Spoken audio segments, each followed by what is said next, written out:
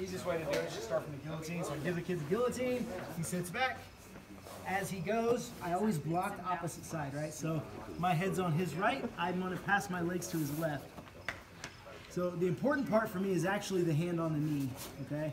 Not because I want to shove his leg down, but because I want a reference of to, uh, where I need to jump, right? So I can always jump over my hand, but I can't see his knee. So I have no idea where his knee is until my hand is on it. So now I go, I drive forward, I pass his leg by, and as I get past the guard, I'm pinching his wrist with my shoulder here, and I'm driving my body up. So I want his shoulder to go high into his neck. Now, get your hand out there. Yeah, so I haven't locked it in yet. It's hard for him to get his hand out. It's a little rough. Yeah. Now imagine if you had MMA gloves on. This palm down, the one behind his head. I lock up my gable grip, and then I basically find his neck with my shoulder here. And then I just let my hips drive. I let gravity do the work. And he'll pass out. Nope, just go out. Just go out. Show him. Stay up to me. So,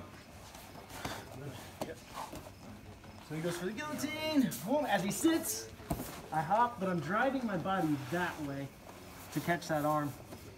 And then just, I just have to have that like sensitivity to find his neck with my shoulder. So tuck your chin. Yep. So a lot of guys will like, they'll be up here smashing the face. Just, just feel around, right there. Boom. If I'm having a hard time getting it, do a back step. So you're choking with.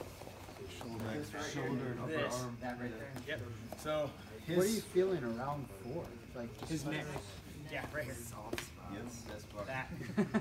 Somewhere around there. Yeah. Right here. Yeah. So that's that's what I want. Right they can see it. Yeah. You, you gotta make more noise. Yeah. Cool.